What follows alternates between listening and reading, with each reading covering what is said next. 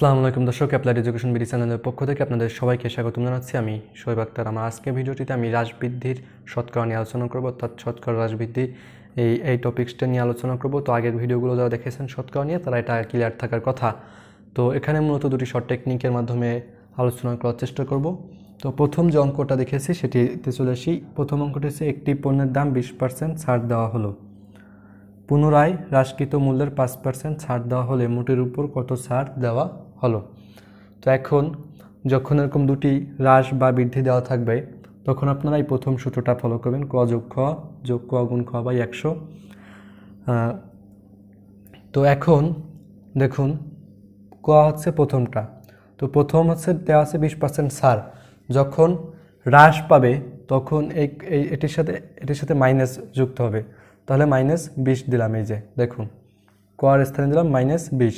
যেহেতু হ্রাস, ছাড় দেওয়া হয়েছে মানে হ্রাস পেয়েছে, এজন্য মাইনাস বিশ দিয়েছি।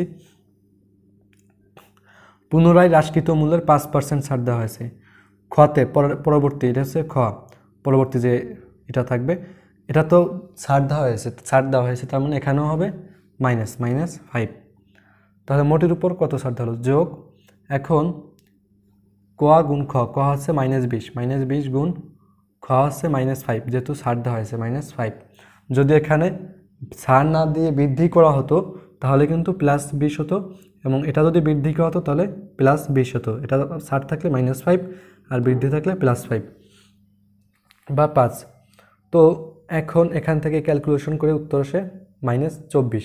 এখন যদি মাইনাস আসে উত্তর আপনাদের, মনে রাখবেন এই ধরনের অঙ্ক যতই করবেন, যদি উত্তরে মাইনাস আসে তাহলে বুঝবেন যে ছাড় দেওয়া হয়েছে বা লস হয়েছে এরকম। আর যদি প্লাস আসে তাহলে বৃদ্ধি পাওয়া বা লাভ এরকম। বোঝাবে। তো এটা ক্লিয়ার মনে করি ফাংশনটা ক্লিয়ার আরেকটা অঙ্ক দেখেন। চিনির মূল্য বিশ পার্সেন্ট কমলো। চিনির ব্যবহার বিশ পার্সেন্ট বৃদ্ধি পেল। এতে চিনি বাবদ ব্যয় শতকরা কত বাড়লো বা কমলো? এখানে কিন্তু বলেনি কত কত বেড়েছে, তা বলেনি। বাড়লো বা কমলো, এটা আমাদের বের করতে হবে। তো চিনির মূল্য বিশ পার্সেন্ট কমলো, এটা হচ্ছে ক। বিশ পার্সেন্ট কমলো মানে ক আর এখানে হবে মাইনাস বিশ। মাইনাস বিশ। চিনির ব্যবহার বিশ পার্সেন্ট বৃদ্ধি পেল। দ্বিতীয়টা, খ, অর্থাৎ যেহেতু বিশ পার্সেন্ট বৃদ্ধি পেয়েছে, তার মানে প্লাস বিশ। তো প্লাস প্লাস বিশ যোগ ক গুণ খ। ক হচ্ছে মাইনাস বিশ। মাইনাস বিশ গুণ খ হচ্ছে প্লাস বিশ। প্লাস বিশ, যেহেতু খতে বৃদ্ধি পেয়েছে, বিশ পার্সেন্ট পরবর্তীতে ফাংশনটা বৃদ্ধি পেয়েছে, তাই প্লাস বিশ বাই একশো। তো এটা ক্যালকুলেশন করলে উত্তর আসবে মাইনাস ফোর পার্সেন্ট তার যেহেতু মাইনাস আছে, তার মানে কমেছে। তার মানে চিনি বাবদ ব্যয় শতকরা চার পার্সেন্ট কমেছে। আমার মনে হয় দুটি অঙ্ক আপনাদের ক্লিয়ার এইভাবে এই ধরনের অঙ্ক আসলে এইভাবে করবেন।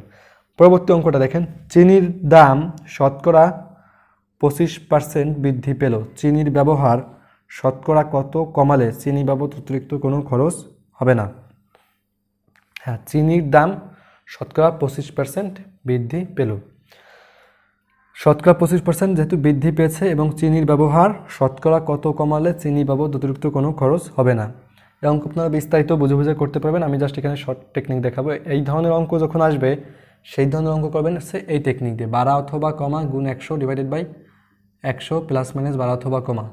যদি বাড়ে, চিনির দাম এখানে কি? বৃদ্ধি পেয়েছে। যেহেতু চিনির দাম বৃদ্ধি পেয়েছে, দাম বৃদ্ধি পেলে এই একশোর সাথে হবে প্লাস আর যদি দাম হ্রাস পেত তাহলে একশোর সাথে হতো মাইনাস তো দেখুন, বাড়া অথবা কমা, কত পার্সেন্ট বাড়ছে?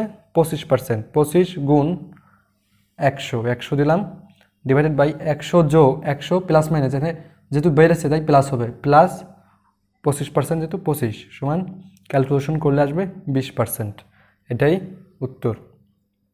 পরবর্তী অঙ্কটা দেখেন, চা পাতার দাম বিশ পার্সেন্ট কমে গেল। চা পাতার দাম কয় পার্সেন্ট কমে গেল? বিশ পার্সেন্ট পূর্বের খরচ ঠিক রাখার জন্য চা পাতার ব্যবহার শতকরা কত বাড়াতে হবে? এখন চা পাতার দাম বিশ পার্সেন্ট কমে গেছে। তার মানে কমে গেলে কি? এখানে কিন্তু মাইনাস হবে। তার মানে বিশ গুণ একশো ডিভাইডেড বাই একশো মাইনাস বিশ ক্যালকুলেশন করলে এখানে আসবে পঁচিশ পার্সেন্ট তার মানে চা পাতার ব্যবহার শতকরা পঁচিশ পার্সেন্ট বাড়াতে হবে। তো এইভাবে মূলত এই অঙ্কগুলো করবেন। এই দুটি, যে দুটি নিয়ম দেখালাম, আমি আশা করি যে আপনারা বুঝতে পেরেছেন কখন কোনটা হবে। তো এভাবে যদি করতে পারেন, আমি আশাবাদী যে আপনাদের এই অঙ্কগুলো আর ভুল হবে না। আর শর্ট টেকনিক থেকে আমার মনে হয় বিস্তারিত শেখাই ভালো। আপনারা বিস্তারিত আমি আশা করি বুঝতে পারবেন যাদের বই আছে। আর যদি না বুঝেন কমেন্ট করবেন। আমি চেষ্টা করব পরবর্তীতে বিস্তারিত আলোচনা করার। সকলে ভালো থাকুন, সুস্থ থাকুন। আজ এ পর্যন্তই।